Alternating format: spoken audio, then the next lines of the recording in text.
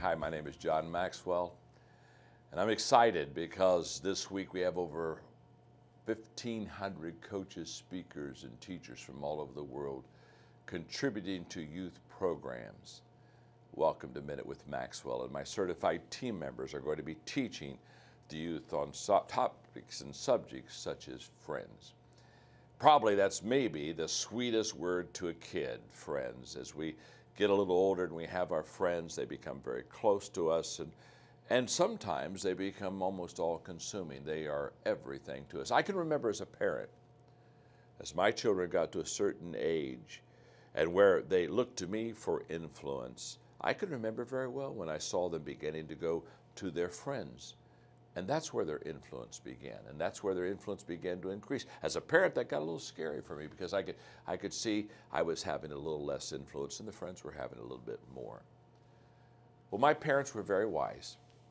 My parents understood that who my friends were would determine who I was going to become. Birds of a feather flock together.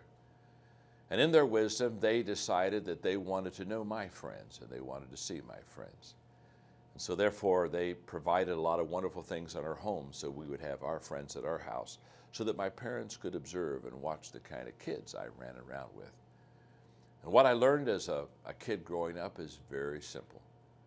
There are some friends that were positive for me, and there were some friends that were negative for me. And my determination of which friends I was going to let influence me basically determined whether I was going to have a positive or a negative life. Fortunately, because of good parental advice and guidance, I chose good friends, which really did make a difference. Because you see, friends are wonderful. They give us support, they give us strength. They're either, though, a real asset or a real liability. So I would just want to encourage you choose your friends wisely. You don't need a lot, but you need some good ones.